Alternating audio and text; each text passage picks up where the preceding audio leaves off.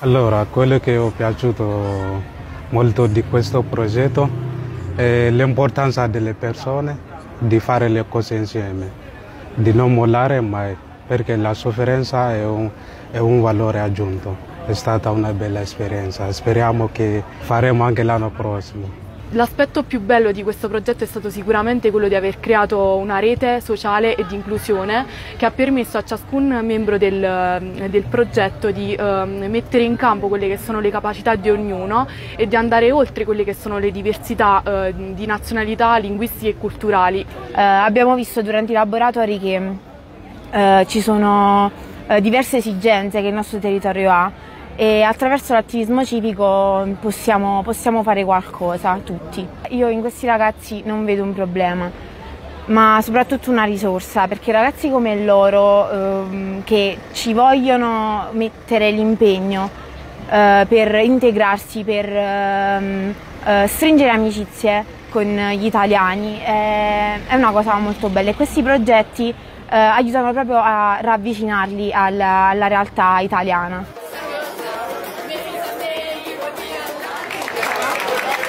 Eh, abbiamo fatto una riunione, un primo incontro conoscitivo e a quel punto abbiamo capito che mettendo insieme le forze, un'associazione che parlava di sport, una che parlava di diritti umani, etica, eh, conoscenza del territorio, attività, eh, che potessero coinvolgere anche gli adolescenti. E noi della cooperativa sociale Perusia Ollus che ci occupiamo di sociale e nello specifico di immigrazione, a quel punto abbiamo detto sì, mettiamoci insieme, facciamo insieme questa, eh, eh, questa attività, questo percorso e eh, abbiamo un po' studiato eh, come organizzarci. Mi porto a casa una bella esperienza che mi ha fatto capire meglio il tema del, dell'immigrazione che spesso viene trattato con superficialità. Infatti i ragazzi ospiti delle strutture seguono corsi di apprendimento della lingua e di integrazione, ma ben altra cosa è condividere interessi, costumi e creare un mondo relazionale con persone qualunque del territorio, anche esterne alle associazioni ed è proprio questo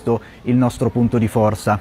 Credo che il valore aggiunto sia la conoscenza, il fatto che i miei ragazzi non conoscono la realtà se non attraverso quella che vedono dal telegiornale, dalla televisione. La verità è che non hanno mai incontrato, semplicemente a anche fosse due metri di distanza, un ragazzo di un altro colore, un ragazzo che viene da un altro paese, dall'Africa, i famosi migranti.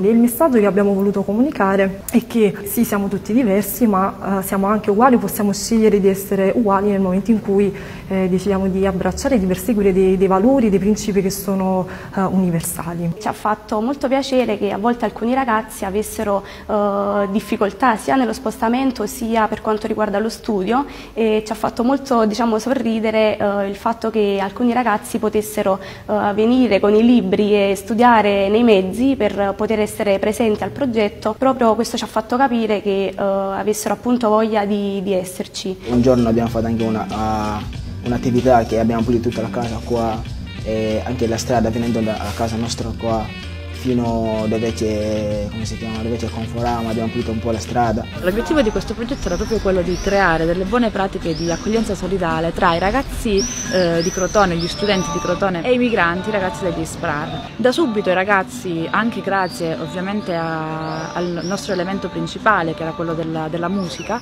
sono riusciti a interagire e a conoscersi, riuscendo anche ad abbattere tutte quelle eh, barriere linguistiche molto difficili inizialmente importante.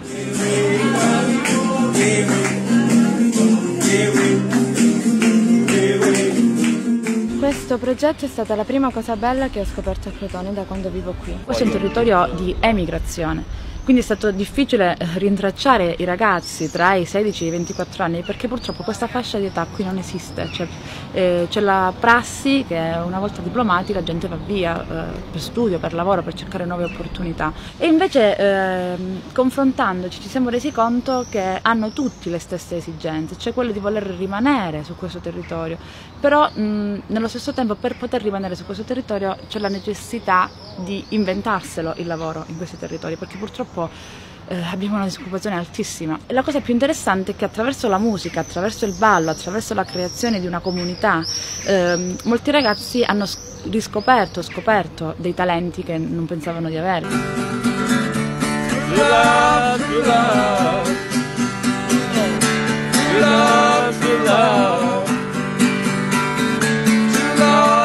Li hanno pescati in mare, come pesci. Sul dito di uno dei morti, prima che il pescatore lo ributtasse in mare, brillava un rubino rosso. Gliel'ha tolto? Solo quando ha visto l'anello il pescatore ha avuto per la prima volta un pensiero, che il morto potesse avere dei parenti. L'integrazione passa attraverso la conoscenza non solo delle persone, ma anche dei luoghi. Perché ciò sia possibile è necessario che le istituzioni civiche se ne facciano promotori e facilitatori, promuovendo e supportando azioni di comunicazione e messa in rete della realtà del, del territorio. Legalità non è solo avere i documenti in regola o avere il permesso. Legalità è conoscenza e rispetto dei diritti di ognuno, rispetto delle regole, certo, ma non fine a se stesso, bensì come dovere di prendersi cura del bene comune. Occorre un lavoro comune affinché l'eticità superi il legalismo. Promuovere e favorire la partecipazione civica in tutte le sue forme, nell'impegno di ognuno secondo le proprie possibilità, è il miglior veicolo di inclusione sociale, è l'unico strumento per la ricostituzione di quel tessuto sociale che può concretamente contribuire a creare sicurezza e vivibilità ai nostri quartieri. Sono molto contenta, è un progetto che crea inclusione, eh, che crea praticamente mh, condivisione, eh, contro eh, pregiudizio eh, e bisogna attivarsi sempre nelle scuole perché la paura che c'è non esiste, non esiste. La bestialità che purtroppo l'immigrazione percepita è, è, è, ingigantita, è gonfiata dai media in una maniera incredibile, soprattutto anche da partiti politici e la cosa peggiore è che sono considerati mh, come dire, così agevolati. Un luogo comune per esempio è questi qui hanno sempre i telefoni in mano, oppure questi prendono 35 euro al giorno, li vedi sempre con i telefoni. Ma la realtà non è così, le, le storie lo confermano. Non, purtroppo dei luoghi comuni gente, di cui la gente non riesce a liberarsi, quando anche noi siamo stati protagonisti di migrazioni in passato. Migliorato probabilmente la durata sarebbe stata, un periodo più lungo sicuramente ci saremmo conosciuti di più e avremmo anche fatto breccia un po' nella, in quello che è il muro di, di insicurezza dei ragazzi perché sono comunque molto timidi, giustamente. Il punto di forza è che se questa cosa viene proposta bene alla società può dare veramente un, un esempio di quello che si potrebbe fare, che non c'è nessuna paura da avere, c'è la possibilità che potrebbero sorgere. Già solo con un progetto piccolo come questo da un esempio. Però penso che, che, sia necessario proprio avere buon senso perché finché una minoranza eh, è lontana da te, finché il nemico del popolo non viene individuato in te, in te, va tutto bene, però può essere che un giorno o l'altro qualcosa possa capitare a te e allora a quel punto qualcuno ti dovrà difendere. Ho studiato un po', ho capito qual era l'obiettivo e mi sono buttato. Per me è la prima esperienza di lavoro con i migranti, però devo dire che è stata molto profonda, no? mi ha dato tanto umanamente, perché ho conosciuto storie e vite che sono veramente difficili da raccontare e i ragazzi piano piano, dopo aver conquistato la fiducia, insomma, dopo esserci diciamo, misurati nella pratica, sono stati generosi nel raccontare queste cose e quindi sicuramente mi porto un bagaglio culturale, di esperienza, ma soprattutto di umanità molto, molto grosso. Però spero di poterlo restituire in futuro e di collaborare ancora a questo tipo di attività.